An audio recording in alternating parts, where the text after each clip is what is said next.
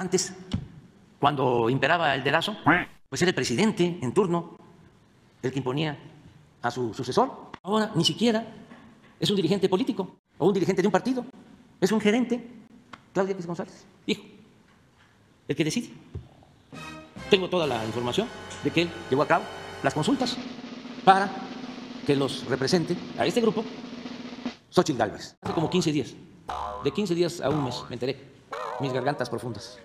Y fue un eh, proceso de consulta arriba con los que no dan la cara, pero sí actúan y son los que aportan dinero para las campañas, para la guerra sucia.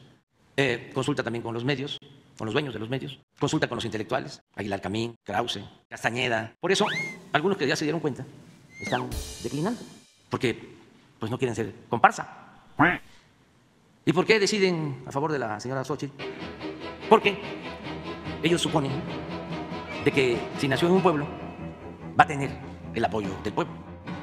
Y además es, en realidad, parte de ellos, no del pueblo, sino ella forma parte de los conservadores. Desde luego no es de los de arriba, pero sí forma parte del mismo agrupamiento. Y ahí están los intelectuales del régimen, y ahí están los medios de manipulación. Entonces es algo muy peculiar esa estructura. ¿Se acuerdan que hace poco inflaron como un globo a un candidato?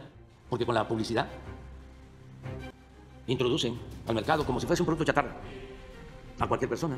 Este, esto están inflando a la señora Xochitl. Y es el querer engañar.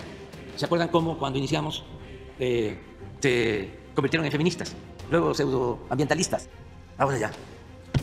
Resulta que están a favor de los pobres. Les voy a mostrar una caricatura de Hernández. ¡Producción! Para que vean la pobreza ¿no? de estos este, integrantes, no todos, pero sí este, unos cuantos, del bloque conservador. Como todos ellos, este, en uso de sus derechos, me cuestionan, pues yo también, en uso de mi derecho, este, replico. Unos momentos después. Ya cumplí, ¿eh? No vayan a decir que no.